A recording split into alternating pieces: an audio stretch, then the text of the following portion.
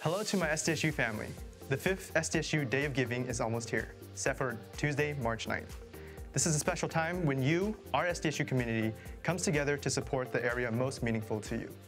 Whether it is helping students facing an emergency crisis, providing scholarships, or enhancing wellness and career readiness programs, your generosity positively impacts the success of students like me.